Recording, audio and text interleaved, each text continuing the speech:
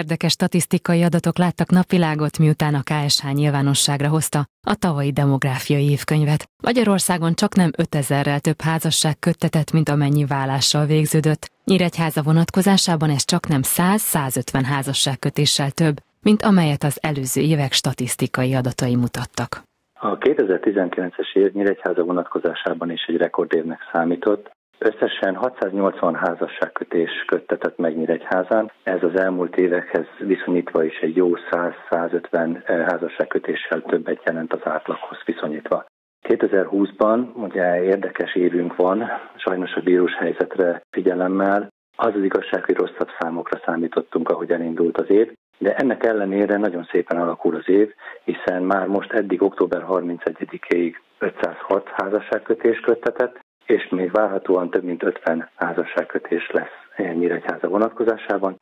A 2019-es év rekordévnek számított a házasságkötések tekintetében. A folyamatot idén a koronavírus járvány lassította, de a szakemberek bizakodóak a jövőt illetően, hiszen jelenleg közel 100 házasságkötési szándék érkezett a jövő évre vonatkozóan. A születési adatok szintén pozitív képet mutatnak.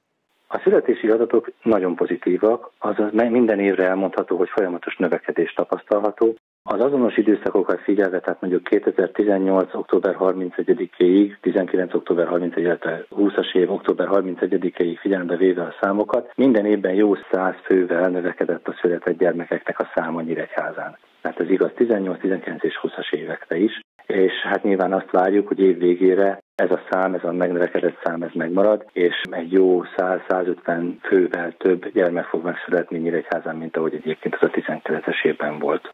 A tavalyi demográfiai évkönyvből az is kiderül, hogy Magyarországon tavaly 46 ezer kisfiú és több mint 43 ezer kislány látta meg a napvilágot. Az évkönyv nemzetközi adatai lehetőséget nyújt az országok közötti összehasonlításokra is.